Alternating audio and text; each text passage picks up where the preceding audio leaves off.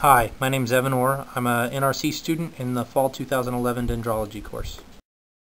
Dryad tomentosa, the mockernut hickory, is classified within the family, family Juglandaceae and is considered a true hickory. It is the most abundant of the hickories and is extremely long-lived, living up to 500 years.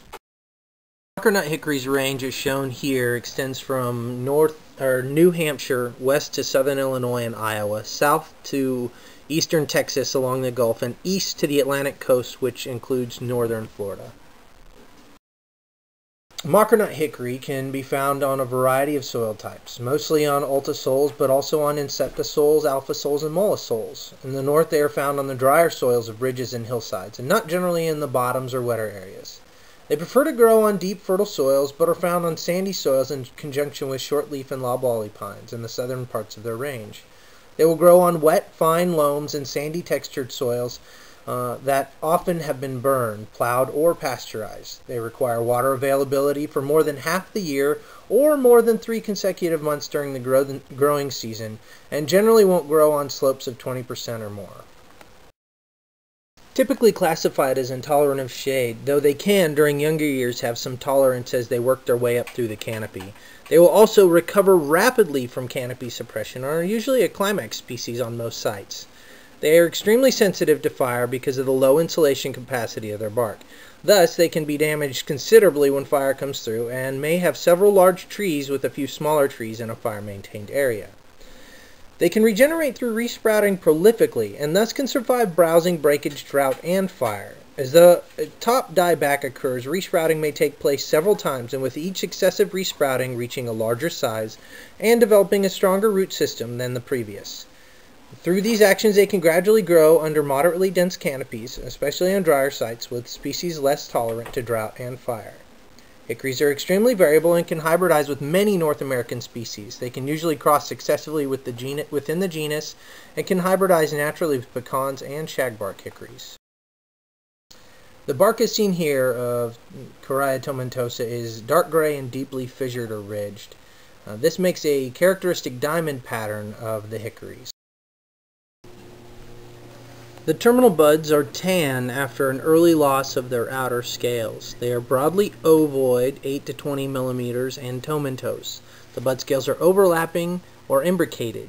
Uh, axillary buds are protected by bracteoles and fused into the hood. The leaves are pinnately compound, 30 to 50 centimeters, with petioles of 3 to 12 centimeters. Both the petiole and the rachis are hirsute um, the leaves can have five, seven, or nine leaflets with blades ovate to elliptic or obovate. Uh, they're not falcate though. This is what distinguishes them from the pecan. Uh, leaflets are oppositely arranged on the leaf, and leaves are arranged alternate and spiral on the twig. The leaflets are hirsute, as are the twigs and the petioles. These trees are monoecious. The male flowers are catkins, about four to five inches long uh, produced at the axil of the leaves on the previous season's growth or from the terminal buds at the base of the current season's growth. Uh, the female flowers are short spikes on peduncles, uh, terminating in shoots uh, of the current year.